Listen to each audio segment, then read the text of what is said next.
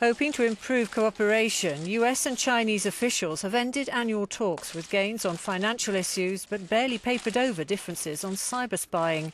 The recent cyber attack on the US Office of Personnel Management was widely believed by the Obama administration to have been instigated by Beijing. We believe very strongly that the United States and China should be working together to develop and implement a shared understanding of appropriate state behavior in cyberspace.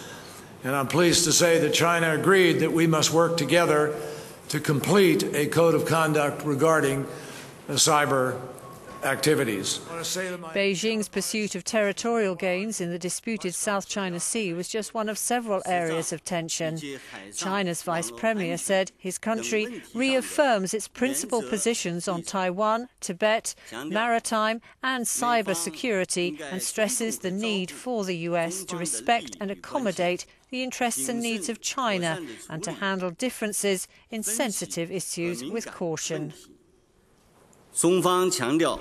The high level talks in Washington were a prelude to Chinese President Xi Jinping's upcoming visit to the US this autumn, with both sides gladly emphasizing an area of cooperation climate change. Okay. All right, thank you. Thank you, guys.